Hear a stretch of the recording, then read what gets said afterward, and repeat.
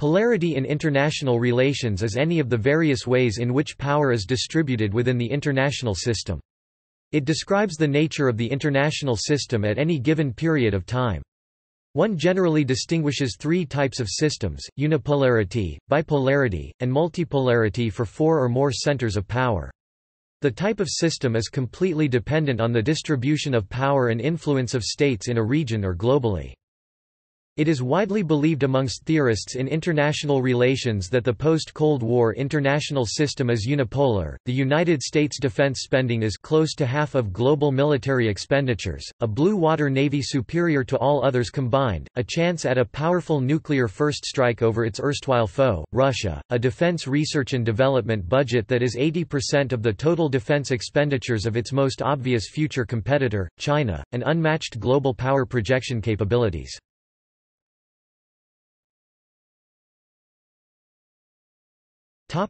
Unipolarity Unipolarity in international politics is a distribution of power in which one state exercises most of the cultural, economic, and military influence. Nuno P. Monteiro, assistant professor of political science at Yale University, argues that three features are endemic to unipolar systems. Unipolarity is an interstate system and not an empire. Monteiro cites Robert Jervis of Columbia University to support his claim, who argues that unipolarity implies the existence of many juridically equal nation-states, something that an empire denies. Monteiro illustrates this point further through Daniel Nexon and Thomas Wright, who state that in empires, intersocietal divide and rule practices replace interstate balance of power dynamics. Unipolarity is anarchical. Anarchy results from the incomplete power preponderance of the unipole. Columbia University's Kenneth Waltz, whom Monteiro cites, argues that a great power cannot exert a positive control everywhere in the world, therefore, relatively weaker countries have the freedom to pursue policy preferences independent of the unipole. The power projection limitations of the unipole is a distinguishing characteristic between unipolar and hegemonic systems. Unipolar systems possess only one great power and face no competition. If a competitor emerges, the international system is no longer unipolar. In 1964, Kenneth Waltz maintained that the United States is the only pole to possess global interests, apart from excelling in indicators of power such as population, resource endowment, economic capacity, and military might. Unipoles are associated with certain foreign policy behaviors like actively participating in binding regional institutions, building ad hoc coalitions of the willing to deal with major security or economic challenges, struggling for legitimacy without applying much coercion, and respecting the sovereignty of second-tier states, who are considered crucial partners. The post-Cold War international system is unipolar. The United States defense spending is close to half of global military expenditures, a blue water navy superior to all others combined, a chance at a splendid nuclear first strike over its erstwhile foe, Russia, a defense research and development budget that is 80% of the total defense expenditures of its most obvious future competitor, China, and unmatched global power projection capabilities. William Wohlforth, the Daniel Webster Professor of Government at Dartmouth College, says the puzzle to be explained is why do so many thoughtful people think the current system is incipiently multipolar? Wohlforth believes unipolarity is peaceful because it favors the absence of war among great powers and comparatively low levels of competition for prestige or security for two reasons. The leading state's power advantage removes the problem of hegemonic rivalry from world politics, and it reduces the salience and stakes of balance of power politics among the major states, therefore one pole is best, and security competition among among the great powers should be minimal. Unipolarity generates few incentives for security and prestige competition among great powers. This idea is based on hegemonic stability theory and the rejection of the balance of power theory. Hegemonic stability theory stipulates that powerful states foster international orders that are stable until differential growth in power produces a dissatisfied state with the capability to challenge the dominant state for leadership. The clearer and larger the concentration of power in the leading state, the more peaceful the international order associated with it will be. Quote, the balance of power theory, by contrast, stipulates that as long as the international system remains in balance without unipolar power, peace is maintained. Nuno P. Monteiro argues that international relations theorists have long debated the durability of unipolarity i.e. when it will end but less on the relative peacefulness unipolarity brings among nations within an international system. Rather than comparing the relative peacefulness of unipolarity, multipolarity, and bipolarity, he identifies causal pathways to war that are endemic to a unipolar system. He does not question the impossibility of great power war in a unipolar world, which is a central tenet of William C. Wohlforth in his book World Out of Balance, International Relations and the Challenge of American Primacy. Instead he believes unipolar systems provide incentives for two other types of war, those pitting the sole great power against a relatively weaker state and those exclusively involving weaker states. Monteiro's hypothesis is influenced by the first two decades of the post-Cold War environment, one that is defined as unipolar and rife with wars. The United States has been at war for 13 of the 22 years since the end of the Cold War. Put another way, the first two decades of unipolarity, which make up less than 10% of U.S. history, account for more than 25% of the nation's total time at war. The earliest prophet of unipolarity seems to be Fichte, although he did not use the term, using instead, universal monarchy. Paradoxically, the father of the German nationalism and convinced adherent of the balance of power, he appears to be the path breaker. Back in 1806, Fichte wrote characteristics of the present age. It was the year of the battle at Jena when Napoleon overwhelmed Prussia. The challenge of Napoleon revealed to him the precarious nature of the balance of power and a much deeper and dominant historical trend. There is necessary tendency in every cultivated state to extend itself generally. Such is the case in ancient history, as the states become stronger in themselves and cast off that papal foreign power, the tendency towards a universal monarchy over the whole Christian world necessarily comes to light. This tendency has shown itself successively in several states which could make pretensions to such a dominion, and since the fall of the papacy, it has become the sole animating principle of our history. Whether clearly or not—it may be obscurely—yet has this tendency lain at the root of the undertakings of many states in modern times. Although no individual epic may have contemplated this purpose, yet is this the spirit which runs through all these individual epics, and invisibly urges them onward.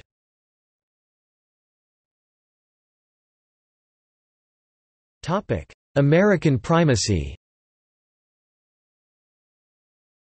The first thinker to anticipate both the unipolar world and the American primacy seems to be British politician William Gladstone Alexis de Tocqueville in the mid-19th century had expected the bipolar world centered on America and Russia but had not advanced beyond bipolarity. In 1878, Gladstone wrote, While we have been advancing with portentous rapidity, America is passing us by as if a canter. There can hardly be a doubt, as between America and England, of the belief that the daughter at no very distant time will, be unquestionably yet stronger than the mother. She America will probably become what we are now—head servant in the great household of the world. French economist Michel Chevalier, writing in 1866, did not address the possibility of a unipolar world, but envisaged that the political colossus who is being created at the other side of the Atlantic would overshadow Europe by the end of the 19th century. Unless Europe united, he wrote, it would be weak and exposed to disastrous defeats in the confrontation with the New World. In 1885, the Chinese philosopher, Kang Youwei published his One World Philosophy, where he based his vision on the evidence of political expansion which began in the immemorial past and went in his days on. He concludes, Finally, the present powers of the world were formed. This process of coalescing and forming fewer, larger units has all taken place among the 10,000 countries over several thousand years. The progression from dispersion to union among men, and the principle whereby the world is gradually proceeding from being partitioned off to being opened up, is a spontaneous working of the way of heaven or nature and human affairs. No factor, he believed, in the long run could resist the laws of empires Kang Youwei projects the culmination of the ongoing world unification with the final confrontation between the United States and Germany. Someday America will take in all the states of the American continent and Germany will take in all the states of Europe. This will hasten the world along the road to one world. Kang Youwei belonged to a civilization, which experienced the millennia-long unipolar order. He knew how in his civilization it emerged and several times re-emerged. Naturally, his theory is very realist, deep, and developed relatively to his Western contemporaries convinced in the universality of the balance of power or, at most, having abstract ideas of the Parliament of Men, the Federation of the World. Another early scientist who drew a hypothesis of the forthcoming unipolar world order and the American primacy was the French demographer, Georges Vacher de Lapouge, with his L'Aryen, Son Rôle Social published in 1899. Similarly to Kang Youwei, he outlined the logistic growth of empires from the Bronze Age till his days, when six states governed three-quarters of the globe, and concluded, "...the moment is close when the struggle for the domination of the world is going to take place." Vacher de Lapouge did not bet on Washington and Berlin in the final contest for world domination like Kang Youwei. Similarly to de Tocqueville, he guessed the Cold War contenders correctly but he went one step further. He estimated the chances of the United States as favorite in the final confrontation. The reign of Europe is over, well over. The future of France seems less certain but it is unnecessary to become illusioned. I do not believe by the way that Germany might count for a much longer future. We could, envisage, the possibility that England and her immense empire comes to surrender to the United States. The latter, is the true adversary of Russia in the great struggle to come. I also believe that the United States is appealed to triumph. Otherwise, the universe would be Russian.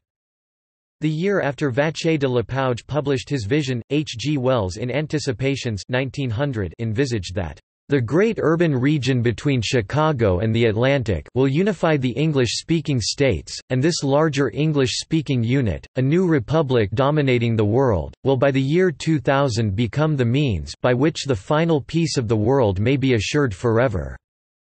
It will be a new social Hercules that will strangle the serpents of war and national animosity in his cradle, such a synthesis of the peoples now using the English tongue, I regard not only as possible, but as a probable, thing. The new republic will already be consciously and pretty freely controlling the general affairs of humanity before this century closes. Its principles and opinions must necessarily shape and determine that still ampler future of which the coming hundred years is but the opening phase. The new republic must ultimately become a World State, Wells' compatriot, journalist William Thomas Stead, titled his 1901 book The Americanization of the World or the Trend of the Twentieth Century. The visions of William Gladstone, Vacher de Lapouge, H. G. Wells and William Thomas Stead were borne out.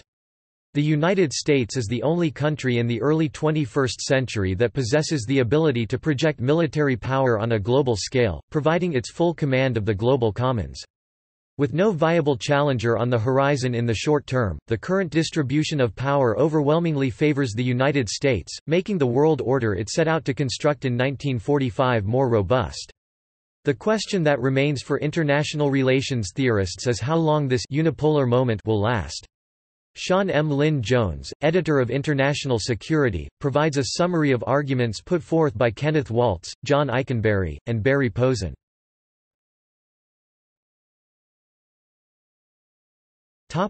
Kenneth Waltz Kenneth Waltz, the founder of neorealism, in his Epical Theory of International Politics 1979 precluded the possibility of unipolarity. 2. He stated 1979 to 136 is the smallest possible number of poles in a system. Within 12 years, unipolarity emerged. In two papers of 1993, Structural Realism After the Cold War and the Emerging Structure of International Politics. Waltz defends the neorealist theory against a cascade of criticism that emerged after the Cold War. First of all, he stresses that unipolarity is the least durable of international configurations. He provides a realist analysis of the currently unipolar structure of world politics, arguing that realism is the best theoretical lens to understanding international politics and the short future of U.S. primacy. Waltz also takes on the democratic peace theory, which holds that no two democracies will go to war with each other, as one that doesn't present a proper challenge to realism. War is rooted in the anarchic structure, or a self-help environment, of the international system, Waltz argues. Simply changing the domestic political structure of countries will not eliminate war, Waltz notes. However, democracies seldom fight democracies, although democracies are more likely to initiate wars against non-democracies because the former believes the latter must become democratized so as to make the democratic peace more robust. Thus, the spread of democracy can decrease the amount of war in the world in Waltz's view. The second challenge to realist theory argues that economic interdependence promotes peace. Waltz believes this causal logic is backward, peace can promote economic interdependence. Peace abounds when a political monopoly on force, or a favorable balance of power, prevents revisionist powers from altering the status quo. After all, Waltz argues, strong economic interdependence did not prevent war in 1914. The third challenge that Waltz confronts is the rise of international institutions as primary actors in international politics. Waltz argues that the structure of power in the international system determines the role of institutions. NATO, for example, is often cited as an institution that has outlived its original mandate—preventing a Soviet onslaught of Western Europe. In Waltz's view, NATO's continued existence conveniently illustrates how international institutions are created and maintained by stronger states e.g., the United States to serve their perceived and misperceived interests. Finally, Waltz turns to the question of international politics and provides a realist interpretation to the U.S. unipolar moment, which he believes is fleeting for two reasons. With no great power to check its adventurism, the United States will weaken itself by misusing its power internationally. Wide latitude of policy choices will allow the U.S. to act capriciously on the basis of internal political pressure and national ambition. Secondly, even if the United States acts benevolently, states will still attempt to balance against it because the power asymmetry demands it. In a self-help system, states do not worry about other states' intentions as they do other states' capabilities. Unbalanced power leaves weaker states feeling uneasy and gives them reason to strengthen their positions, Waltz says. He sees China as already beginning to counter U.S. power. In conclusion, the U.S. unipolar moment is fleeting and multipolarity is already materializing.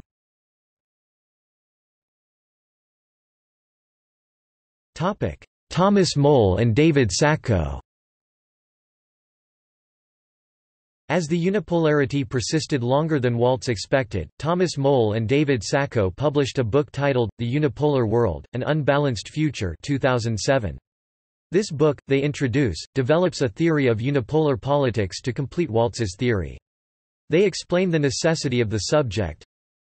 Shortly after Waltz deduced his theory of international politics, the world shifted, not back to the world of prior theory but to something previously unseen. Our discipline has tarried too long in the wreckage of history, spent too long trying to recover something familiar from the ruins. We must complete the realist theory, integrating an understanding of unipolarity into our knowledge of multipolarity and bipolarity. The something previously unseen is the fact that the power of the United States remains unbalanced.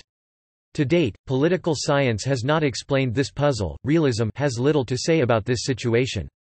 The leading theory of international politics is lost because it expects a world of multiple major powers. Realists expect states to balance against rising powers, which would prevent a unipolar distribution of power from developing. Mowle and Sacko offer an explanation to the failure of research on unipolarity. To a Western society steeped in a history of balancing and individualism, unipolarity seems autocratic. To states with a proud past as an international actor, unipolarity seems intolerable. To those who wish to teach history and international relations, unipolarity seems Fukuyamish. Although unipolarity is generally undesirable, it prevails. While many people wish that power were distributed in a different manner, unipolarity is real. It seems natural, therefore, that structural realism should develop a set of hypotheses for a unipolar world. Instead, however, realists have resisted the conclusion that the world is unipolar and sought evidence of balancing by other states. In particular, some have advanced the concept of soft balancing, Balancing that does not balance at all, these efforts are counterproductive, since realism and unipolarity are compatible. Scholars, they advise in conclusion, do not need to desperately search for signs of balancing, they do not need to soften balancing beyond recognition, and they do not need to stand watch for the first glimmering of a new multipolar dawn.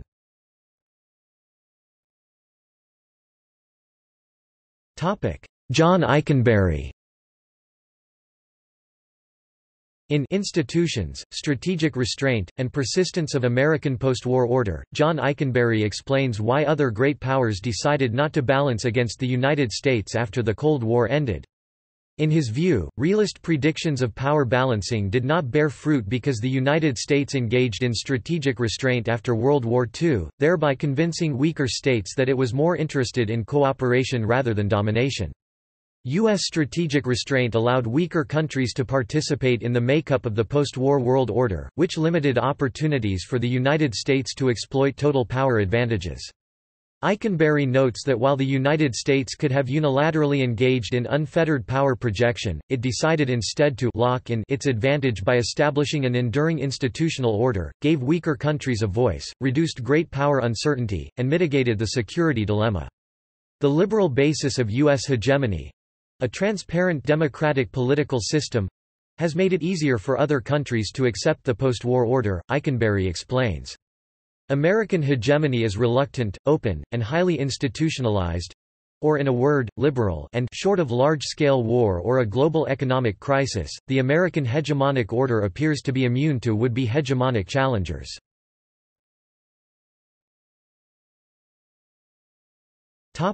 Barry Posen In Command of the Commons, the military foundation of U.S. hegemony, Barry Posen focuses exclusively on U.S. military capabilities. A key to U.S. preeminence is command of the commons—command of the sea, space, and air. But command of the commons and the U.S. persistence in maintaining its near omnipresence raise important questions for U.S. strategy. Even before the September 11 terrorist attacks, the foreign policy debate had narrowed to a dispute between primacy and selective engagement, between nationalist, unilateralist version of hegemony, and a liberal, multilateral version of hegemony. U.S. command of the commons, Posen argues, provides a strong case for selective engagement. Posen believes that the Bush Doctrine was problematic because it not only created unease among U.S. allies, but also caused others to ally against the United States. Securing the commons through selective engagement is a superior strategy because it is cost-effective, secures U.S. interests, and makes the nearly omnipresent U.S. military tolerable because it provides security guarantees to other nations.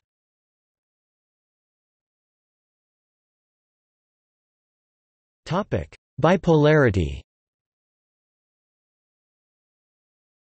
Bipolarity is a distribution of power in which two states have the majority of economic, military, and cultural influence internationally or regionally. Often, spheres of influence would develop. For example, in the Cold War, most Western and capitalist states would fall under the influence of the US, while most communist states would fall under the influence of the USSR. After this, the two powers will normally maneuver for the support of the unclaimed areas which in the case of the Cold War means Africa, etc. refer to map below. Great Britain and France in 18th century Since the end of the War of the Spanish Succession until the Seven Years' War 1754 The United States and the Soviet Union during the Cold War 1947 however, the Sino-Soviet split c. 1960 led to the rise of China as a possible third superpower.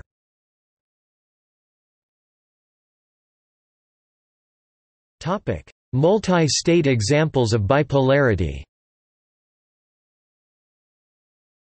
The bipolar system can be said to extend to much larger systems, such as alliances or organizations, which would not be considered nation-states, but would still have power concentrated in two primary groups.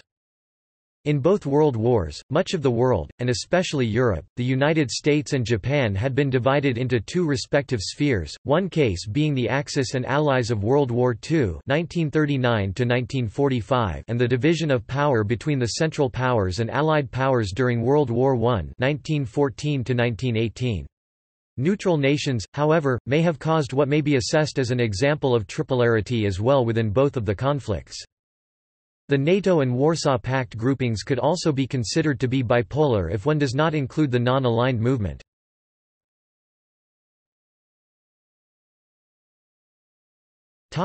Multipolarity Multipolarity is a distribution of power in which more than two nation-states have nearly equal amounts of military, cultural, and economic influence. Opinions on the stability of multipolarity differ.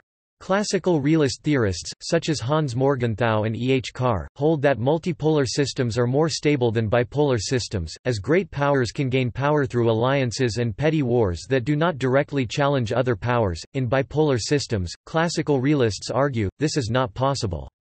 On the other hand, the neorealist focuses on security and inverts the formula. States in a multipolar system can focus their fears on any number of other powers and, misjudging the intentions of other states, unnecessarily compromise their security, while states in a bipolar system always focus their fears on one other power, meaning that at worst the powers will miscalculate the force required to counter threats and spend slightly too much on the operation. However, due to the complexity of mutually assured destruction scenarios, with nuclear weapons, multipolar systems may be more stable than bipolar systems even in the neorealist analysis. This system tends to have many shifting alliances until one of two things happens. Either a balance of power is struck, and neither side wants to attack the other, or one side will attack the other because it either fears the potential of the new alliance, or it feels that it can defeat the other side. One of the major implications of an international system with any number of poles, including a multipolar system, is that international decisions will often be made for strategic reasons to maintain a balance of power rather than out of ideological or historical reasons. The Concert of Europe, a period from after the Napoleonic Wars to the Crimean War, was an example of peaceful multipolarity the great powers of Europe assembled regularly to discuss international and domestic issues. World War I, World War II, the Thirty Years' War, the Warring States period, the Three Kingdoms period and the tripartite division between Song dynasty, Liao dynasty, Jin dynasty, Yuan dynasty are all examples of a wartime multipolarity.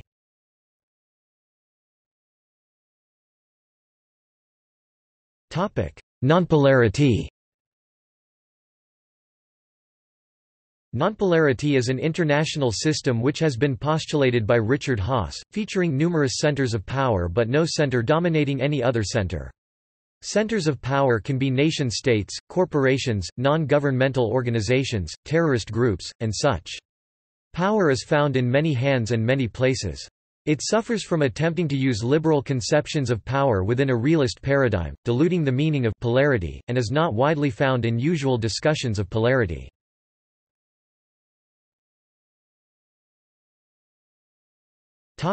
Devolution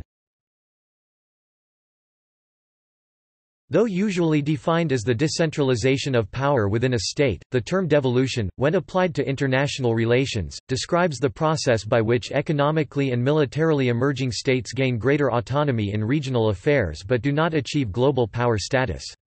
Against the theory that the world is moving from a unipolar order, dominated by the United States, to a multipolar world with various centers of power, Amitai Etzioni argues that, in the foreseeable future, the global redistribution of power is following a different pattern. The change seems to be toward more regional autonomy, or increased devolution, and greater variety in the relationships between the United States and regional powers.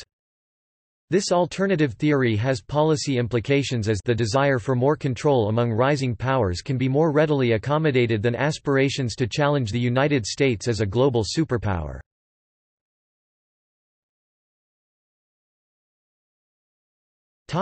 Measuring the power concentration The Correlates of War uses a systemic concentration of power formula to calculate the polarity of a given great power system. The formula was developed by J. David Singer et al. in 1972. Concentration T equals I equals one N T S I T two minus one N T one minus 1 n t Display style text concentration underscore t equals sqrt frac sum underscore i equals one caret n underscore t s underscore it caret two frac one n underscore t one frac one n underscore t n t equals the number of states in the Great Power System at time t. Sit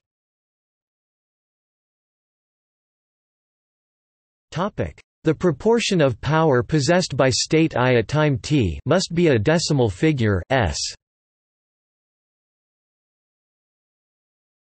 The proportion of power possessed I equals the state of which the proportion of control over the system's power is being measured T equals the time at which the concentration of resources i.e. power is being calculated I equals 1 n S I T two display style sum underscore I equals one caret n S underscore it caret two equals the sum of the proportion of power possessed by all states in the great power system the closer the resulting concentration is to zero, the more evenly divided power is. The closer to 1, the more concentrated power is. There is a general but not strict correlation between concentration and polarity. It is rare to find a result over 0.5, but a result between 0.4 and 0.5 usually indicates a unipolar system, while a result between 0.2 and 0.4 usually indicated a bipolar or multipolar system. Concentration can be plotted over time, so that the fluctuations and trends in concentration can be observed.